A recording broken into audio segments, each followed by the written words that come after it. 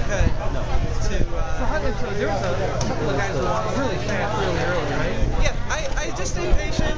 Um, you know, it's kind of nice having one marathon under my belt, um, so I have a little bit better uh, instinct for the distance. And I just knew, you know, the first 10K, you know, it's better to be back and kind of save reserves because this, like I said, it's a very technical course. The second half of the race, um, you know, has some undulation in between, but the second half of the race is a little bit more challenging. Awesome. So um, I just wanted to save my energy reserves for that. Are you running with the with the eventual leaders in the second half? The three, the three of you, and then four of you all the way out, right? Uh, yeah. Um, so I was in probably the second chase path, really through 10, 10 or 15k. Um, I was with Kabata. I was with uh, Sergio, the, the, winner. winner. Um, I knew I knew I was with the head to state, and I knew that I was going to be one of the head to state, and that we were like as long as we were together, there was no separation.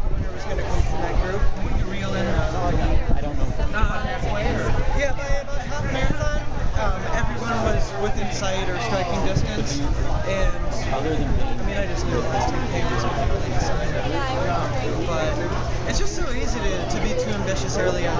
A lot of the guys that were in that lead group, they were debutants, or uh, I think one of them had debuted before but had finished the marathon. So I knew that I was with the veterans. I knew that was going to be the group.